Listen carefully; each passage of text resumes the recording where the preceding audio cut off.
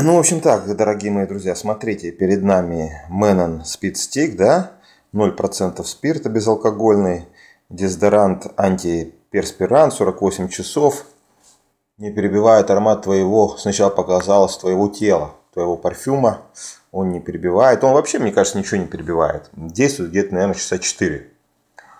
Купил, приобрел я его, попользовался и теперь оставляю реальный отзыв реального владельца. Ну, не советую вам. Через часов 5, мне кажется, он теряет свое действие, так что 48 часов это ни о чем.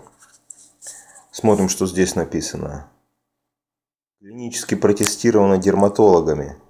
Обеспечит нон-стоп защиту от пота и запаха, который не прививает аромат твоего парфюма.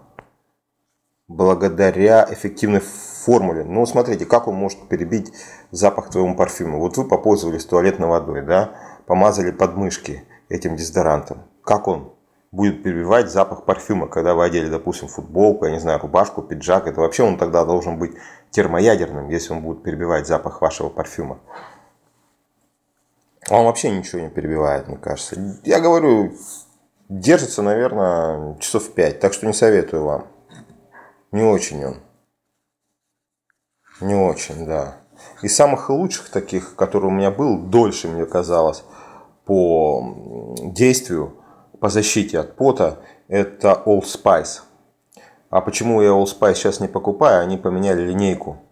У них произошел, я не знаю, как это правильно говорится, ребрендинг или что они там сделали. Но у них была одна линейка парфюмов. Я имею в виду антиперспирантов именно, которые срок 8 часов.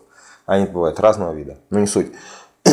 Вот, что я имею в виду. Сейчас я вернусь к Old Spice. Видите, здесь такое белое. А есть прозрачное, есть вообще жидкое. Но мне нравится белое. Ладно, рассказываю дальше. И Old Spice поменяли свою линейку. И у них э, прекратилось выпуск того, что я раньше брал.